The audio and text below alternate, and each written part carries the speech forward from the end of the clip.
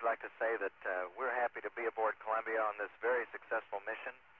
This flight has shown us that every once in a while life throws you a little bit of a curve, and uh, we would like to think that it's not the curve that counts, but how we react to it. I think uh, we're going to take advantage of of uh, having this mechanical failure on board to teach us more about hatches and make us better prepared for future flights. And on the other side, on the other hand, we're having an extremely successful science flight. ORFEUS-SPAS and the Wake Shield satellites both have performed flawlessly. Uh, the Space Vision System experiment has performed flawlessly, and we've gotten a, a lot of mid-deck science experiments and work done that will be very beneficial to the space program and to the U.S. and to the world population. So we're very happy about the way things have gone, and we're going to react to and work with uh, what we've seen happen already in a very positive way. And we're ready for your questions now. This is Marcia Dunn of the Associated Press for Dr. Jones or Dr. Jernigan. I realize it's a remote possibility, but how much thought have you given to what would you'd need to do to open that hatch in case an emergency spacewalk is needed? What would it take to get it open, and how nervous would you be forcing it open and knowing it might not seal properly on your way back in? Well, if we got into an emergency situation, then uh, then the risk-reward trade-off's a little different, and so we would work um, hard to get that hatch open. And uh, even if we do have a mechanism that uh, would stick, we could remove the rigging from the exterior of the door if we had to, and use the Delta P uh, across the hatch in order to hold it on once we repressurize the airlock. So if we got into that very remote possibility, um, then we would work very hard to get that hatch open and uh, very hard to get it sealed back. This is Phil Chien, Earth News. Uh, Phil Chien, Earth News for TACO. Um, realized you didn't want to fire the thrusters when Wake Shield was deployed uh, to prevent contaminating it, but how much closer would you have let it come to the shuttle and felt comfortable before you would have finally cried uncle and hit the thrusters to get out of the way? Well, Phil, we had uh, about 10 feet of clearance across the uh, roof of the crew cabin and the closure rate was extremely slow, so we could have taken it right down to uh, probably a foot or several inches. So we had quite a quite a bit of uh, clearance, and I think we might could have even gotten away with firing a, a forward firing thruster that wouldn't have con- contaminated it too much. So perhaps the uh, science mission wasn't at as much risk as uh, as we as it could have been.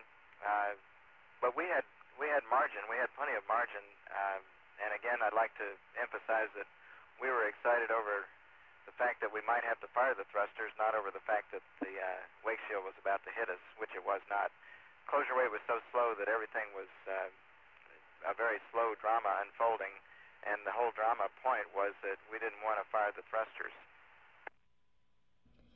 This is Irene Brown with UPI for a story Musgrave. Um, it must have gone through your mind um, with the hatch jam if that had happened on your last flight. And I was just wondering what your um, personal thoughts on lessons learned from this is.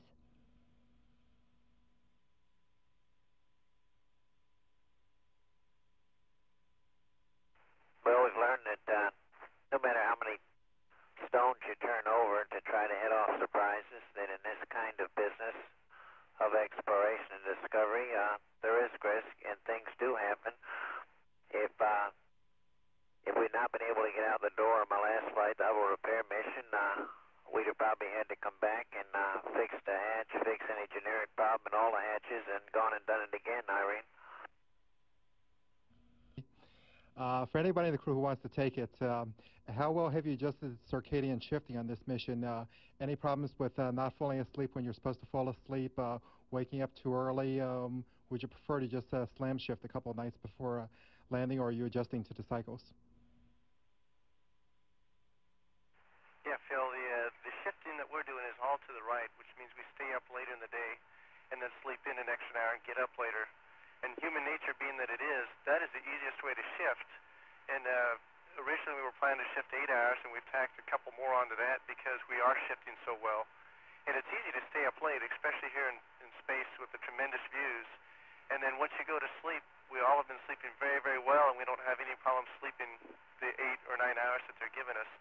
And so the shift has really been uh, in essence, a non-event and uh, in, invisible to us on our workday. Uh, Bill Harwood with CBS again for Dr. Musgrave. Uh, story out of this is an out of the blue question because I don't know if anybody's passed this up, but there's been a discovery today announced that uh, that there is evidence of ice on the moon in the south polar caps, which is pretty interesting stuff. And I know you've given a lot of thought to exploration in general since we're talking about Mars tonight. But what does that say to you? That if there was in fact ice on the moon, what sort of an advantage that may mean, or a leg up anyway down the road to colonizing or having long-term bases there? And Tammy probably know more about uh, the natural resources that we need to find out there than I do. They've probably done more thinking about that. But uh, clearly, if there is ice and there is water out there, that is a natural resource which is extraordinarily important to establishing, you know, a permanent thing such as an observatory on the moon or some kind of colony. We need to eventually uh, find the natural resources, be a mining community out there, extract the oxygen, uh, manufacturing, and the materials we need out there as opposed to carrying them out there. I think it's an extraordinarily uh, important finding, and uh, Mission Control did that did send it up to us morning, Bill. This is uh, Stephen Young with uh, Reuters to finish up here on a, a light-hearted note for Story. Um, I'm wondering, Story, if you would feel an immense sense of irony if on your last mission you finally made contact with extraterrestrials and they came along to pick you up, but you couldn't get outside because the hatch is stuck.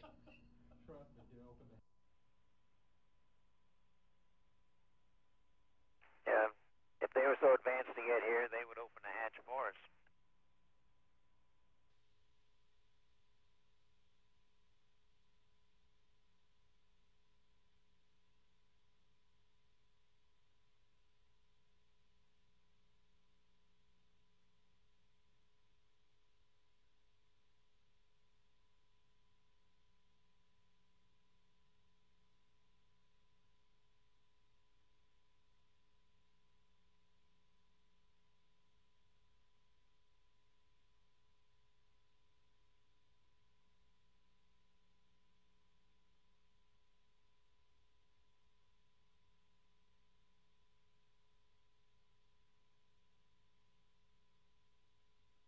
That's affirmed, Houston. We'll go ahead and cycle that handle, and uh, we're approaching sunset. I'm hopeful as the sun sets, the uh, we'll get a much better acuity with the uh, spotlight on the end effector.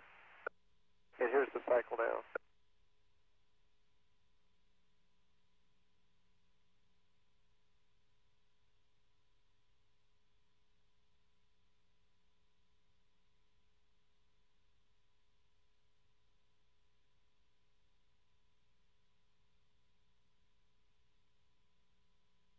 Columbia, Houston, uh, for Rommel, uh, thank you for cycling. Uh, we are now uh, convinced that there is no binding in that area, and uh, the, those uh, pictures you've provided us confirm that.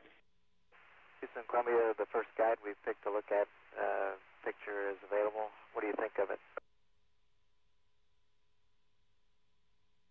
And that's a great picture, Taco. We couldn't see that on the first uh, survey before, and so that's a, a good uh, data point. And if we could move around to the other ones, but uh, you've uh, you've angled the uh, end effector camera perfectly for that one.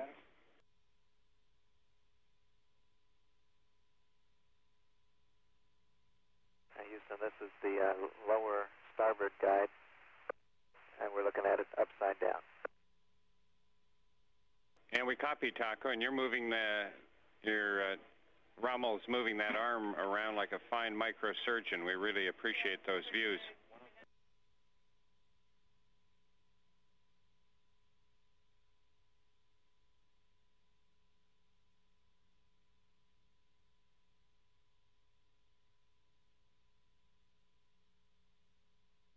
Houston, Columbia, we're going to roll the end effector and translate up to get the next one on the port side. While we're up on the port side, would you like to look at the foot on that side as well?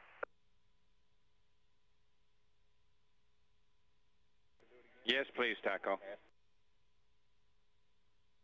Okay, we'll uh, look at the first thing that comes in the field of view. I think it may be another guide.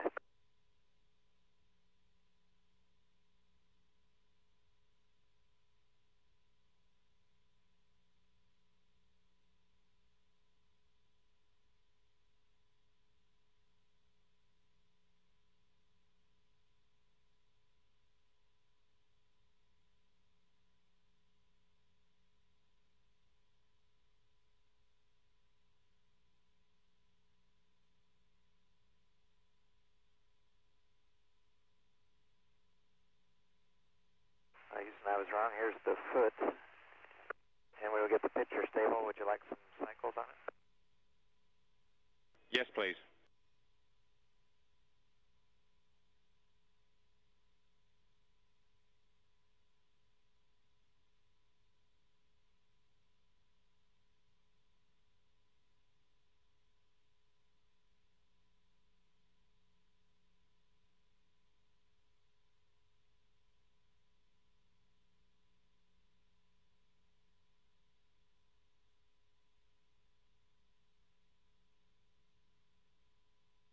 Columbia, Houston, uh, for Taco and Rommel, uh, that completes our survey. Thank you for uh, a really outstanding job. This is an important uh, visual record for uh, when we get back on the ground. And uh, we also now have an accurate record of, of the situation on orbit.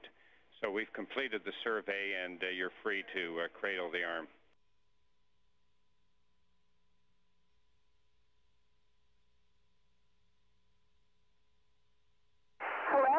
Specialist Tammy Jernigan aboard the spaceship Columbia on mission STS-80. And I'm Story Musgrave. And I'm Mission Specialist Tom Jones. The organ donor program has the potential to benefit millions of Americans. We are here to show our support for this program by signing organ donor cards in space. To give a part of you to someone who is in need is one of the most generous and caring things that you can do. You continue to live in the life of someone else. By becoming an organ or tissue donor, you can directly help friends, relatives, neighbors all across America. You can touch lives in ways you've never imagined. Let's sign those cards.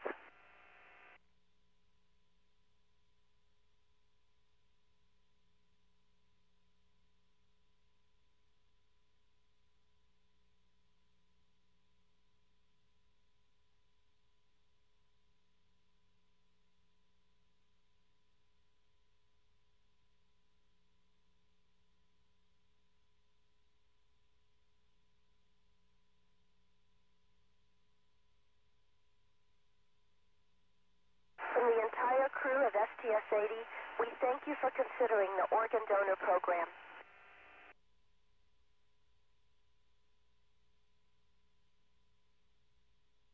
Are you ready for the downlink? Probably not. Go ahead.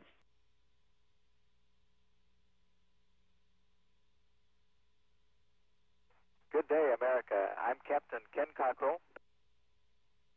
And I'm Commander Kent Rominger aboard the United States Space Shuttle Columbia orbiting 195 nautical miles above the Earth. We have the following message to pass. Go Navy! Beat Army! Columbia, Houston, in your dreams.